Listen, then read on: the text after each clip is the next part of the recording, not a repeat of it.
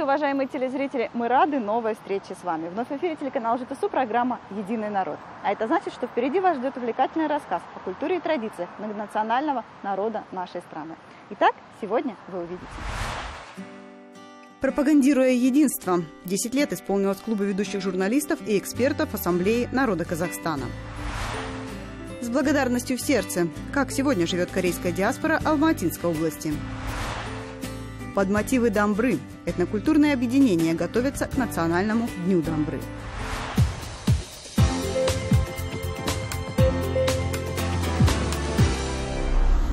28 июня представители средств массовой информации отмечают свой профессиональный праздник – День журналистики. Роль прессы в обществе неоспоримо велика. Они вносят свою лепту в укрепление мира и согласия, пропагандируя единство народа Казахстана. Именно такая миссия и возложена на членов Клуба ведущих журналистов и экспертов Ассамблеи народа Казахстана, созданного 10 лет назад. Идея о клубе ведущих журналистов по вопросам межэтнических отношений впервые была озвучена Нурсултаном Назарбаевым еще на 15-й сессии Ассамблеи народа Казахстана в 2009 году. Вскоре после этого состоялось открытие республиканского клуба, а уже следом за ним был основан и наш, областной. Он был создан как своеобразная школа журналистики. По словам председателя клуба Цалима Идигова, основными его задачами являются укрепление толерантности, сохранение межэтнического и межконфессионального согласия в государстве, гражданского единства, патриотизма, и духовно-культурной общности. Когда произошли курдайские события, вы знаете, да, в социальных сетях, что творилось, насколько это было неприятно, сколько грязи, столько агрессии, столько ненависти. Так вот, в той ситуации я просто взял и написал свой рассказ о э, парне Дунгане, о парне казахе, два друга, названных, названных брата, два друга, которые спасли ценой собственной жизни спасли казахского мальчика. Дунганин и казах. Вот о чем мы в таких ситуациях должны писать. О добром, хорошем, что связывает нас. Я просто противопоставил. Ребята, не это главное. Вот это, когда мы помогаем, поддерживаем друг друга. Сегодня в состав клуба входят журналисты ведущих республиканских и областных средств массовой информации, а также эксперты, представители этнокультурных центров. За 10 лет работы было проведено свыше 40 заседаний. В целом участники клуба организуют различные встречи, мастер-классы и форумы. На таких мероприятиях всегда решаются насущные вопросы освещения в прессе межэтнических отношений. Журналисты должны тонко и деликатно писать об обычаях и традициях этносов, проживающих в нашей стране. Этими принципами и руководствуются сегодня члены члены клуба ведущих журналистов. Национальная политика – это очень тонкая сфера, деликатная сфера, очень чувствительная сфера. Вот. Даже одним неосторожным словом можно оскорбить национальное чувство, можно задеть, да? Чтобы писать на эту тему, журналист должен быть очень подготовленный, профессиональный. У него и должны быть и все человеческие качества, да? То есть этот человек должен быть, ну, Э, с чистым сердцем, да, вот, с чистой душой, такой нормальный во всех отношениях, у которого есть все эти э, добрые, светлые, хорошие человеческие качества. Ну, о профессионализме я уже не говорю, это само собой разумеющееся.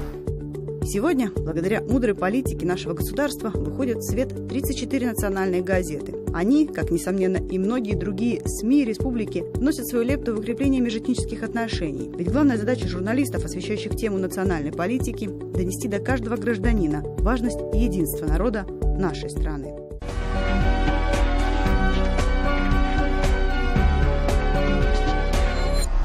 В нашей сегодняшней программе мы решили поговорить о культуре и традициях корейского этноса, а также рассказать вам о работе, проводимой Ассоциацией корейцев Алматинской области. Для этого мы посетили Каратальский район, ведь именно туда в годы массовых репрессий были депортированы тысячи корейских семей.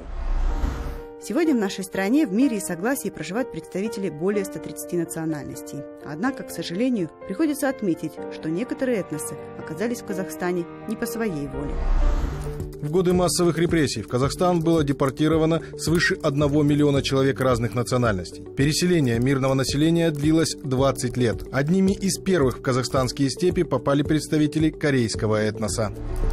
В конце сентября 1937 года первые эшелоны с корейцами-переселенцами стали прибывать в нашу страну. С этого момента начинается история корейцев Казахстана. Это было тяжелое время. Как вспоминают очевидцы, выжить смогли только благодаря помощи казахского народа. Продуктами помогали, Чем могли, помогали, одежды. Да сами же тоже тяжело, голод пережили же они тоже в то время. Но все равно помогали нам. Благодаря казахскому народу, корейский народ в Казахстане выжил.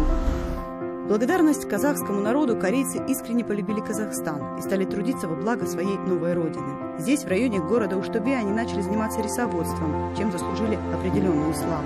В Каратальской долине 31 герой социалистического труда, среди которых 27 представители корейской диаспоры. Но долг казахскому народу, признаются они, никогда не отдать. Ничем нельзя выразить вот эту благодарность. Мама моя рассказывала, как выгрузили нас, а казахские местные ребятишки белыми камнями нас кидали. Мы уж сначала испугались, говорит, а потом, когда посмотрели, это был курт. Чтобы мы с голоду не умерли, они нам курт кидали. Есть в Каратальском районе особое место – гора Бастабин. Именно тут, в землянках, жили депортированные корейцы. Здесь же похоронены те, кто погиб в то страшное время. Сегодня здесь возвышается мемориал казак Халкана Муналхус. Тысяча благодарностей казахскому народу. Он был установлен Ассоциацией корейцев Казахстана при поддержке Ассамблеи в 2012 году. Отныне именно здесь проходят митинги в честь Дня благодарности. В 2019 году при поддержке общественности Южной Кореи проведены работы по благоустройству территории, а также был установлен еще один мемориал, надпись на котором гласит «Объединиться под небом единым». Областной филиал Ассоциации корейцев Казахстана следит за чистотой и порядком в этом особом, можно даже сказать, сакральном месте. Впрочем, запланированная работа еще не завершена. В дальнейшем также планируется работа по благоустройству, по установлению значит, входной группы. Также еще один будет мемориал благодарности э, значит, казахскому народу от общественности Южной Кореи. Ну, думаю, что где-то ближе к осени, наверное, мы данный проект реализуем. Есть у Корейского этнокультурного объединения и Южной Кореи и другие совместные проекты «Благодарность казахскому народу». К примеру, в 2016 году был подписан меморандум между Акиматом области, Ассамблеей и корейской благотворительной компанией «Френд Азия». Последние, в свою очередь, три года бесплатно выполняли ремонтные работы в Алматинской области. Волонтеры, строители из Южной Кореи, прилетали в нашу страну, чтобы помочь людям улучшить их жилищные условия. В результате было отремонтировано 87 домов. Где-то проведен капитальный или косметический ремонт, где-то восстановление, утепление стен, перекрытие кровли или установка пластиковых окон. В годы репрессий корейцам пришлось очень тяжело. Они покинули свою родину и приехали сюда. И то, что они выжили и сейчас здесь живут, заслуга местного населения. Корея хотела бы отблагодарить народ Казахстана, поэтому появилась такая программа. Совместные проекты с Южной Кореей касаются также и сферы здравоохранения. Осуществляется реализация проекта по оказанию медицинских услуг населению э, жителей ЖТСУ. Вот, э, мы договорились э, где-то значит, на 10 лет. Вот текущие два года мы уже это как бы реализовываем. В этом году третий год будет. Вот, такую работу проводим. Также мы в прошлом году договорились еще с одной, с представителями э, еще одной клиники Южной Кореи по оказанию э, бесплатных медицинских услуг, имплантации зубов также э, населению, населению нашей области. Корейское этнокультурное объединение в Алматинской области было создано в 1989 году. И вот уже почти 20 лет его работу возглавляет Владимир Ильич. Владимир Леонидович Ли с 2002 года является председателем Корейского этнокультурного объединения Алматинской области. Имеет высшее образование по специальности ученый-агроном, кандидат сельскохозяйственных наук. Женат, воспитывает двоих детей. Имеет награды Орден Курмет, золотую медаль Ассамблеи народов Казахстана, а также юбилейные медали 10 и 20-летия независимости Республики Казахстан. Одним из основных направлений деятельности корейского объединения является сохранение традиций и культуры своего народа. Эта особая миссия возложена на Совет старейшин, который был создан в 2005 году. Уважаемые аксакалы постоянно стараются вносить свой вклад в патриотическое воспитание подрастающего поколения. Совет старейшин создан для того, чтобы обычаи, культуру, песни, танцы вот эти, чтобы повтор... это самое, э, чтобы не забыли. И, и мы должны вот эту культуру и обычаи должны передать своим молодым поколениям. Поэтому мы сейчас стараемся. Совет старейшин сегодня возглавляет один из почетных аксакалов района Илья Пак. Вместе с супругой Флорой они воспитали четырех детей, имеют шесть внуков и шесть правнуков. Двери его дома всегда открыты для своих коллег, представителей Совета старейшин. Все вместе они стараются сохранить и передать подрастающим поколениям свои накопленные знания. К примеру, рассказывают технологию приготовления любимых корейских блюд или учат рукоделию. Умение вязать всегда передавалось от матери к дочери. Именно так азам вязания научилась и Маргарита Ким. Сегодня женщина создает потрясающие шали, жилеты, кофты и, конечно, вяжет носочки и тапочки, а потом с большим удовольствием дарит их родным и близким. Когда вещь получилась, чувствую удовлетворение и думаю уже, кому же подойдет, кому подарить. Мама моя в основном она работала на луку. Времени тоже у них так, чтобы постоянно вязала, не было. Но иногда, когда время бывало, она вот сумочки вязала. И раньше они вязали вот эти всякие накидушки на, на подушки. Такие красивые, как она называется, филейное вязание. Помимо Совета старейшин, при ассоциации действует молодежное крыло, которое занимается изучением корейского языка. Кроме этого, в состав центра входят и самодеятельные коллективы, которые регулярно радуют зрителей своими музыкальными номерами.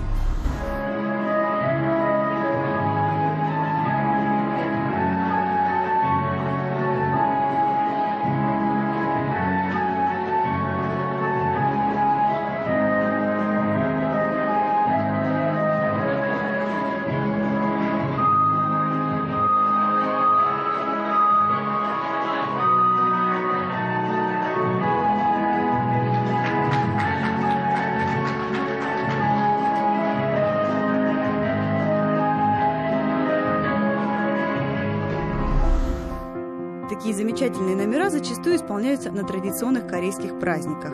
Корейское этнокультурное объединение старается проводить их, собирая вместе представителей разных поколений. Наряду с нашими общеказахстанскими мероприятиями, праздниками, мы также проводим и отмечаем наши национальные праздники. Обязательно это значит, встреча Нового года по восточному лунному календарю, э, летом вот э, Уальтано. Это исконно такой традиционный древний праздник – который а, а, знаменует окончание посевной кампании, э, накрывается э, такой хороший, богатый Дастархан, и за этим Дастарханом как бы празднуют окончание посевной кампании, и вместе с тем эти явства также преподносятся э, нашим духом наших предков. Как бы считается, что их нужно задобрить с тем, чтобы потом осенью получить хороший урожай. Без прошлого нет будущего, а потому представители корейского объединения чтят традиции своего народа и смело смотрят в будущее. А планов у центра, надо сказать, немало.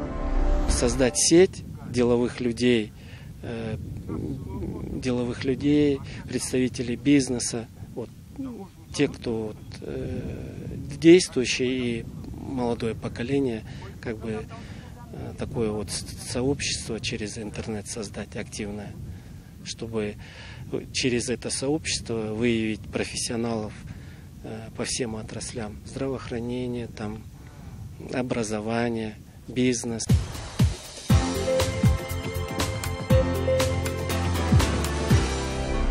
Здравствуйте. Мы сегодня будем готовить кукси, корейской кукси. Для этого нам понадобится огурцы, капуста, мы его уже нашинковали, все в готовом виде, помидоры, перец, курица и мясо говяжье. Значит, что мы делаем? Курицу мы отвариваем, потом мясо ну, на мелкие кусочки ирбаним. Это для тех, кто любит кукси на курином бульоне и с куриным мясом. Вот. А все остальное то же самое. Это огурцы, салат из огурцов, это из капусты. Вот это называется вече. Это огурцы по-корейски. Ну, а чай это салат. Это вече. Его шинкуют мелко, потом солим не сильно, так оставляем. Точно так же огурцы пополам и шинкуем. тоже, режем. Тоже солим. Все это делается по отдельности. А потом масло, калим масло в сковородке, лук жарим. Добавляем чеснок, приправу, черный перец, все вместе и перемешаем. А еще может быть блинчики из яиц. Тоже соломкой режем, мелко-мелко, и можно тоже добавлять. И есть у нас еще второе, мясо говяжье, тоже режем и жарим вместе с луком, со всеми приправами. И делаем куксимури.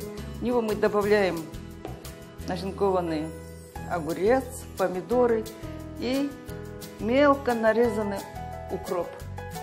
Добавляем сахар, уксус, соль и вот этот вот соус корейский. Обязательно в сочетании с уксусом и сахаром придает очень вкусный вкус. Дальше я покажу вам все, что как это делается, да?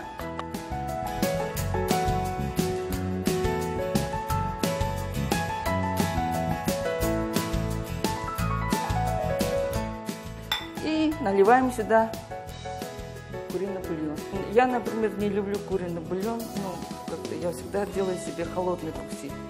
Летом тем более жарко, поэтому когда в жару холодный кукси кушаешь, очень классно.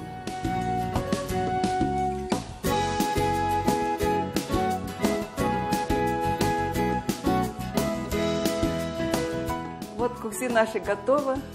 Она у нас сегодня получилась очень вкусной. Жарко на улице, а с холодной водой очень вкусно. Приготовьте вместе с нами, кушайте. Приятного всем аппетита!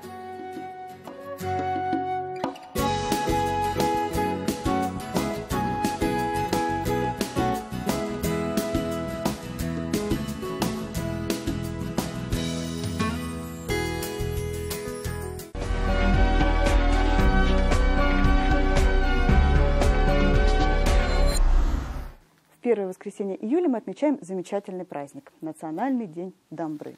Домбра с незапамятных времен сопровождала казахский народ в минуты радости и печали. Через мелодию Домбры из поколения в поколение передаются культурные ценности и традиции. И сегодня этот музыкальный инструмент поистине объединяет народы нашей многонациональной страны.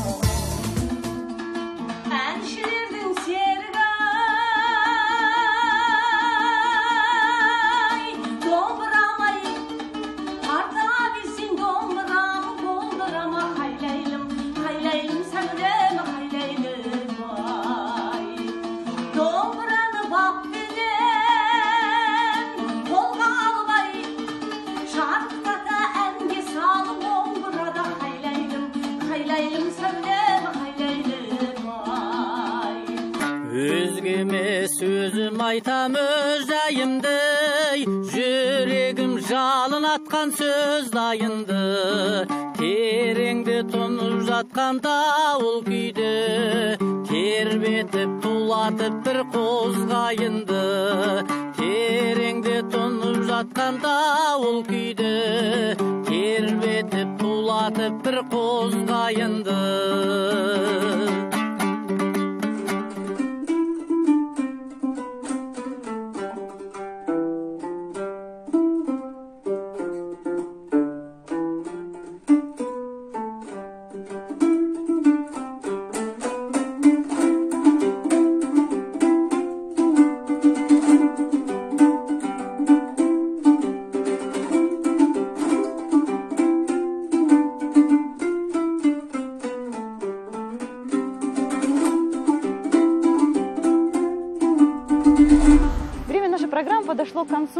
переключайтесь, впереди вас ждет еще немало интересного. Мы прощаемся с вами ровно на две недели. Берегите себя и своих близких. Всего вам самого доброго. До свидания.